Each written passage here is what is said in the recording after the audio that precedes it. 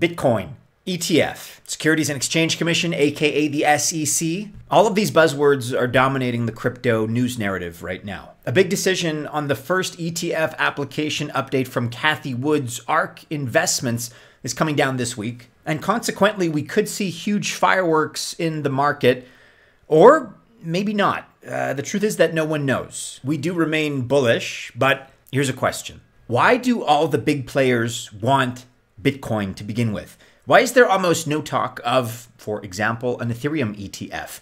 And why is there zero talk about a Cardano, Solana, Polygon, Cosmos, etc. ETF? It's actually pretty simple, and in this video, I'll provide you with a definitive answer as to why.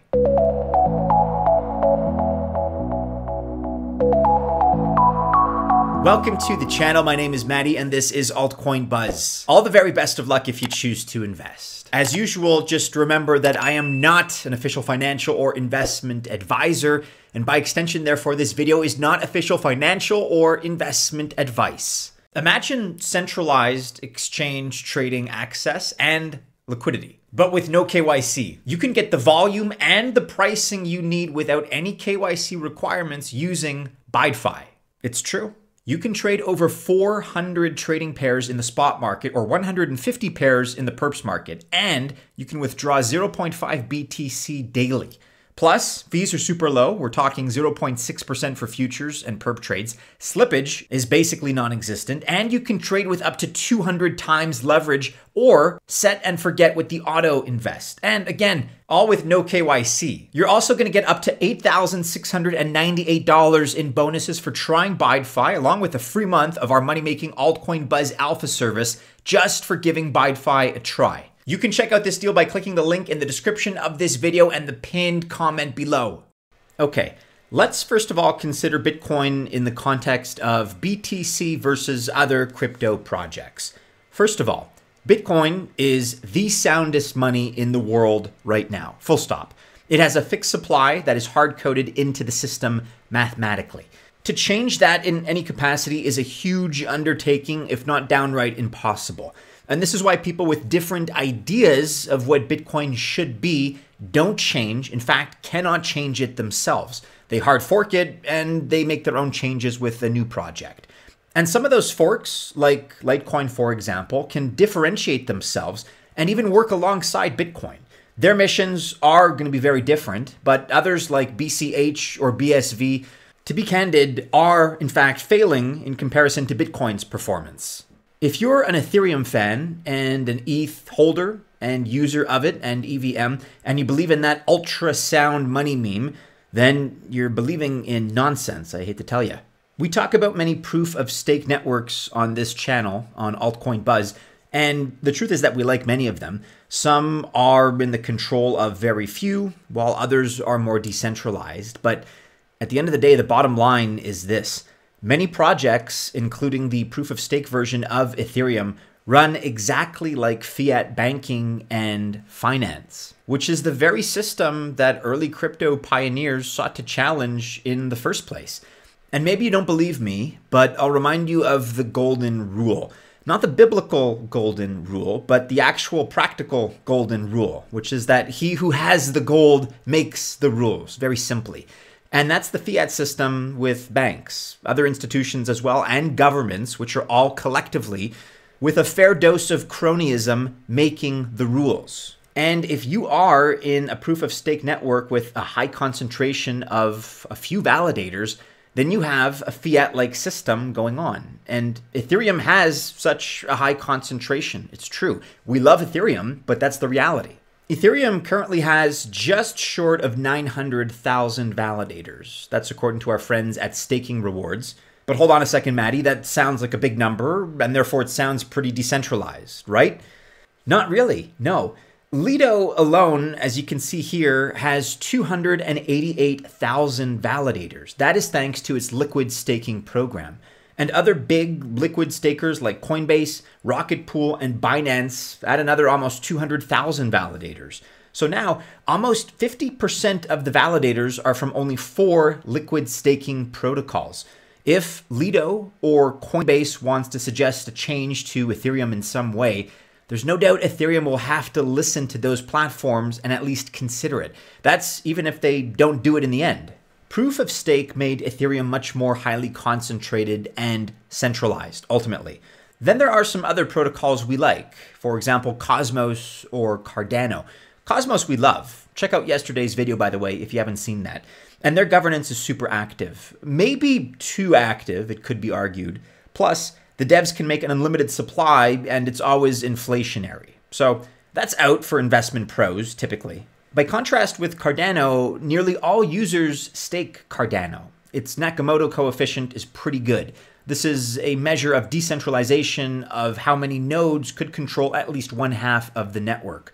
For Ethereum, it's one. Lido. For Cardano, it's 50 as of December 2023, which is much better. In fact, of the big networks, it's second best to Polkadot, which sits at 92. Here's a full list of Nakamoto coefficients. Polkadot has actually gained one, so I misspoke. It's at 93 but honestly, Cardano, Cosmos, even Polkadot are just not big enough and don't trade enough volume for big institutions, especially ETF style big. All of them trade well under $1 billion daily. They range from 180 million to 580 million dollars. ETF trading volume is in the multi billion dollar range per day. These markets are just not big enough, they don't trade enough, and are not liquid enough to support this. That's even if you agree with all the philosophical and design principles of each network. Have you heard about the term authorized participant, or AP, maybe in all this ETF talk? It's an important concept and it shows why big players want Bitcoin. And here are two reasons why being an AP is good. First, an AP can create or redeem shares of an ETF. They also get to maintain custody of the securities. And this is a big one because imagine even earning 10 basis points or one tenth of 1% on an ETF with a large sum, $100 billion in assets under management. That would be $100 million with no market risk in that position either, just to hold and maintain custody. So it seems like a small amount, yes, percentage wise, but when dealing with these massive numbers, it's actually huge. And so now you can see why custody of a Bitcoin ETF is such a big deal. And there's also another big reason why you'd want to be an AP. If they were a market maker, then the institution would have to be able to broker trades as well as provide buy and sell sides of trades to help keep a market liquid. As an AP, you can trade actively for your own account as well as hold inventory of Bitcoin to wait to sell to others. For such a single asset ETF like Bitcoin, this is actually a much better deal than being a market maker. All right, so who is and who wants to be an authorized participant? Coinbase is already going to be one of the big winners upon approval. Most of the top ETF applications have Coinbase listed as their AP and custodian, including BlackRock, by the way. Fidelity is going to custody their own BTC. Uh, this makes their offering a little more true to Bitcoin's original mission, arguably. Now, Goldman Sachs also wants in. Grayscale and BlackRock are in talks with Goldman currently. In Grayscale's case, they are hoping to convert their GBTC into an ETF if approved to do so. And so big institutions finally see what we knew all along. Bitcoin is a great form of money and a great asset. And as dollars and other currencies around the world continue to inflate and devalue, Bitcoin only becomes more valuable and more appealing. And again, and as a reminder, and as you already know, but with only 21 million of them total, the Goldmans and the BlackRocks of the world, they want their own piece of it. So if you have some and maybe you front ran them, congratulations. If you don't, you should probably get some because Bitcoin will only continue to get more and more scarce that's just the default already with the halving structure. But add to that now the fact that these major institutions are keen and are eager, and they're going to be programming billions of dollars in daily purchases automatically. So the scarcity narrative that we've always pointed to in this space is about to get real. Altcoin Buzz Alpha is proud to say that we now have a winning portfolio spread among different sectors. And additionally, we're also very well positioned to get into good IDOs. And if you're into passive income and airdrops, just check out the number that we've received until now. Add to that the original TIA airdrop and all the others that are upcoming. We've achieved this by giving several deeply researched and diversified calls. Just check out some of these numbers from December 2023 last month. And right now, the plan moving forward is to reallocate profits to low caps, to diversify into new segments, to keep getting bigger and better airdrops, to catch the latest trends like Bitcoin and Linea inscriptions, and to dollar cost average during market flushes. We just recently introduced a yearly subscription to Patreon, and you can take advantage of that because if you subscribe to that yearly plan for a limited time, you get one month's membership completely free. Check us out by clicking on the link in the description of this video and the pinned comment below.